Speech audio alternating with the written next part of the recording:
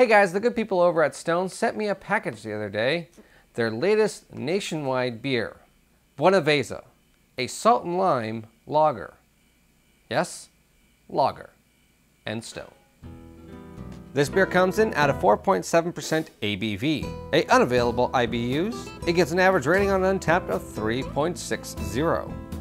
In 1996, Stone Brewing was founded in San Diego County, just minutes from the border. Since then, influence from our southern neighbors has enriched and inspired us on our undying mission to brew bold, flavorful beers. It's with much gusto we present our latest creation, Stone Buenaveza Salt and Lime Lager. Save the lime wedge for your fish tacos. This one's already brewed with real lime and sea salt. Capturing the spirit of our hometown, we know when it comes to Mexican style lagers, there are few big beer brands that come to mind. But at 4.7% and loaded with this much flavor, we feel pretty confident this will be your new go-to for backyard cookouts and neighborhood parties. Once those are safe and responsible to partake again, of course, thanks to the other Mexican beer. So let's check out Stone Buenaveza's Salt Lime Lager. Now I have to state this, I'm a big Stone fan. Just about everything Stone does I usually like. Uh, but they're known for doing big, bold IPAs and big flavored beers and I'm not that big of a lager fan in general.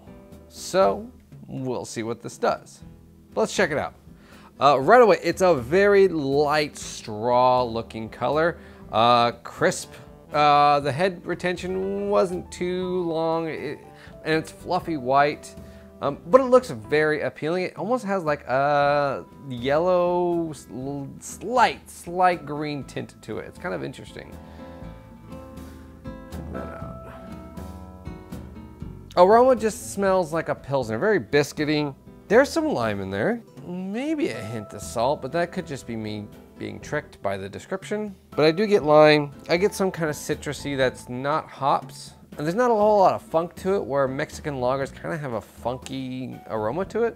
So let's check it out.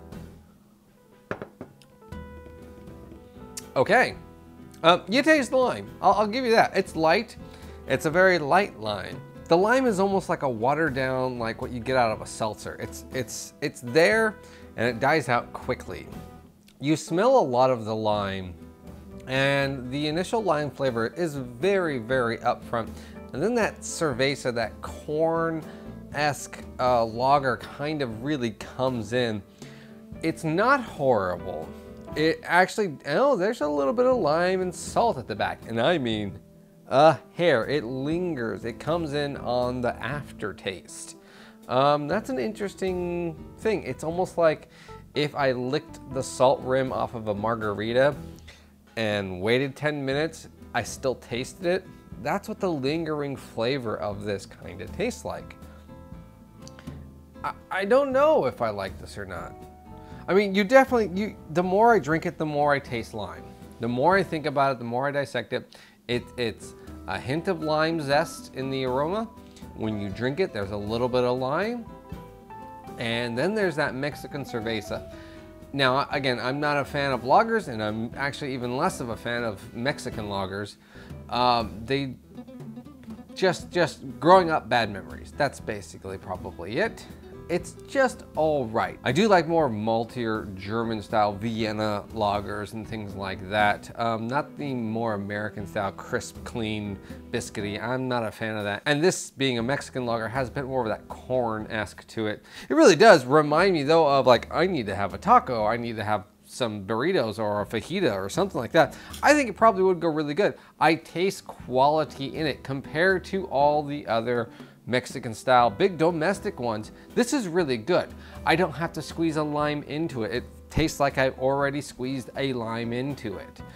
I can pick out every flavor that they have stated on this can or in any description. So I give it props for that. I give it props for tasting way better than any Cerveza lager. But would I drink this? Now, the more and more I do drink it, the more and more I do taste quality. Again, not horrible. It has just enough fruit flavor in it to possibly, you know, get more of the people that do like the hard seltzer or a little bit of a fruitier beers. but there's enough cerveza flavor in here to also get those people that want like a beer with tacos or a barbecue beer or something like that, you know, a beach beer. I can see it on both those aspects. If someone had this in a cooler, I would drink it. I'd probably grab one if it was a hot day. Yeah, I would be fine with it. Even if there was an IPA next to it, I'd probably go for the IPA first, but then I'd probably drink this second. It's light, it has flavor, I taste quality in it. Is it my favorite stone beer? No, it's not my favorite stone beer because they're just, you know, it's it's not necessarily what I know stone to be. But I love the fact that they really pushed everything about them. I love the can art. The can art I think is awesome. I think it's way cooler than the bottle art. Check that out. This whole like Day of the Dead, it's it's freaking awesome. Um, a stack of these would look so cool next to each other. It's a really cool can art. I think Stone knocked it out on the park on that.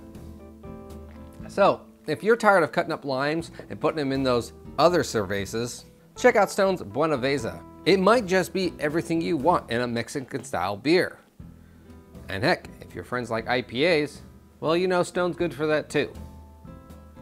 Give it a shot. Cheers, guys. Hey guys, thanks for watching this video. Hit like and subscribe. Check out my social media stuff. The links will be at the very bottom of the description. While you're down there, go ahead and leave a comment or two. Have you had this beer? Did you like this video?